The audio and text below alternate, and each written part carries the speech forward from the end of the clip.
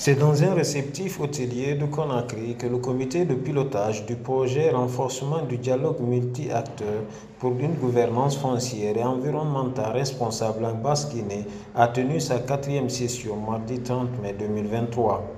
L'idée était d'échanger autour des progrès enregistrés depuis la troisième session sur les défis, mais éventuellement formuler des recommandations par rapport aux difficultés rencontrées. La réunion a mobilisé l'ensemble des membres du comité issus des différents départements ministériels, l'ONU Habitat, le PNUD et Accor, mais également le Fonds pour la consolidation pour la paix, partenaire financier du projet.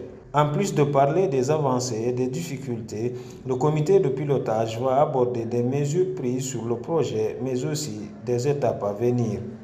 Donc, la présente réunion est une occasion pour l'ensemble des acteurs de faire le point sur ce projet en vue de la préparation du prochain comité de pilotage fin juin.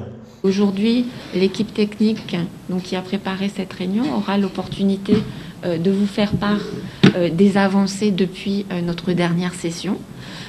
on aura également l'occasion de partager certains défis et peut-être grâce à votre concours trouver certains, euh, certaines solutions euh, à certaines des difficultés que nous rencontrons. Et aussi, nous comptons énormément sur vous pour formuler éventuellement certaines recommandations à l'intention du comité de pilotage, donc qui est euh, composé par les ministres et donc qui est placé sous le leadership du ministère du ministre de, l'urbanisme, de l'habitat et de l'aménagement du territoire, et que nous planifions vers la fin juin.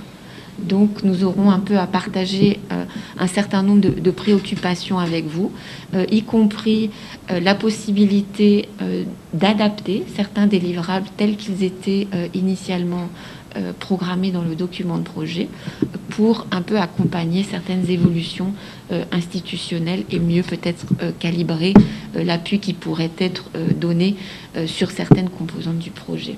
Le ministère de l'Urbanisme, de l'Habitat et de l'Aménagement du Territoire veut doter la Guinée d'une politique foncière nationale pour remédier aux nombreux conflits dans le secteur domanial.